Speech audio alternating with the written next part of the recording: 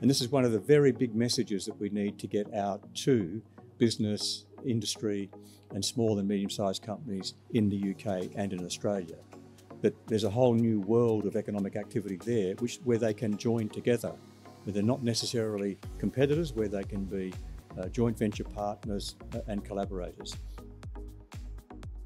the world's first innovation chapter in this deal. It looks to uh, these future challenges by establishing something called a strategic innovation dialogue, providing a platform for businesses like yours to be heard on how the UK and Australia can align on the industries and get the tech, get all the tech aligned.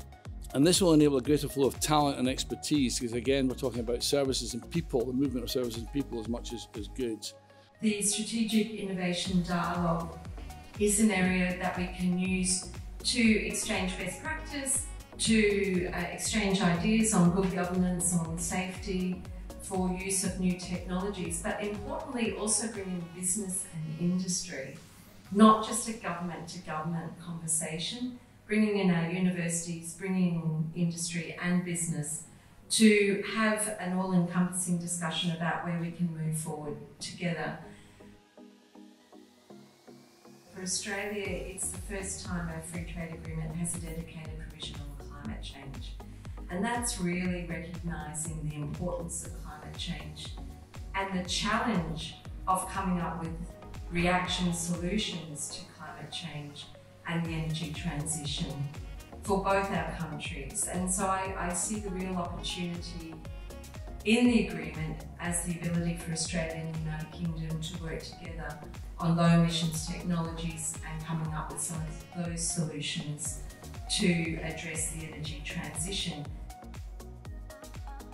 Regarding one other provision that I know is probably quite near and dear to your heart, and that's with regards to trade and gender equality. And it recognises the importance of advancing gender equality and women's economic empowerment, with the both parties ag- agreeing to establish a dialogue on trade and gender equality, and then committing to some um, cooperative activities. Those businesses that trade often pay more, they have greater resilience, greater longevity, greater stability. And so, if we can better enable women entrepreneurs in both our countries to participate in trade, then that is a very good uh, marker of progress. We have learnt more through this series. The FTA set to further enhance the already strong relationship between the UK and Australia and has a, at its core the purpose of opening up new commercial opportunities.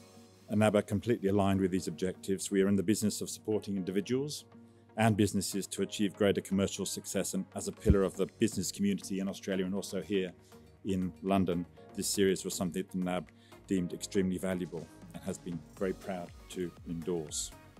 A simple analogy that I've been using uh, for the last couple of events is this. The Australian and the UK Free Trade Agreement teams got together and they built one of the most advanced, climate-friendly, right-hand drive vehicles for our use. And we've now got to ensure that everyone understands not only all the fantastic features and benefits, but jumps in that vehicle and drives it and understands exactly what it can deliver.